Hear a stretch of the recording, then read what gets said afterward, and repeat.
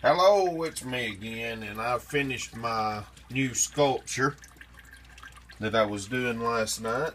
The uh, it goes in my aquarium. I've got a couple of uh, skulls in there, and uh, right down here is the bottom where the fish can swim in and out.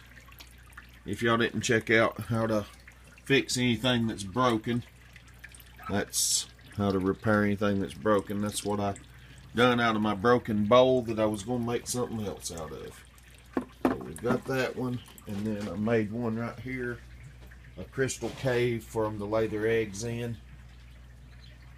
And they can swim in and out right here, and the cichlids can lay their eggs on that rock right there. I've got my little turtle on the top here with out of soapstone, and it's got a turtle inside of it. See y'all later. Bye bye now. Juliet's getting fat, ain't you, girl?